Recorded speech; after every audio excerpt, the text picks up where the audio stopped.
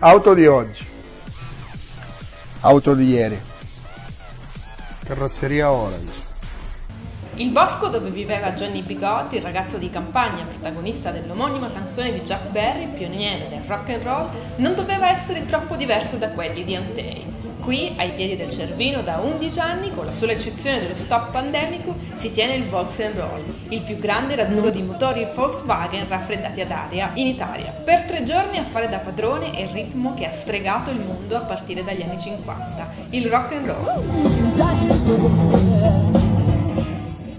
gruppo di ragazzi della Svizzera interna e abbiamo scelto questo posto per un unico motivo, condividere il nostro hobby con degli altri pazzi che stanno qui in giro. Arrivano da altre regioni d'Italia, ma anche da Svizzera, Francia e Olanda. La passione comune è quella per i motori.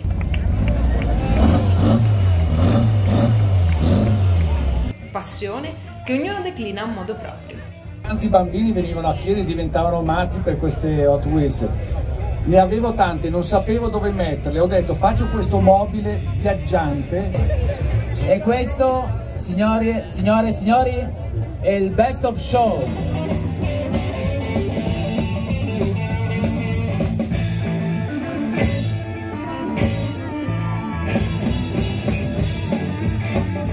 E se molti sono i nostalgici dell'epoca in cui si andava ai concerti in van senza scarpe con indosso un paio di jeans, molti altri non l'hanno mai vissuta, ma da te la differenza non si nota.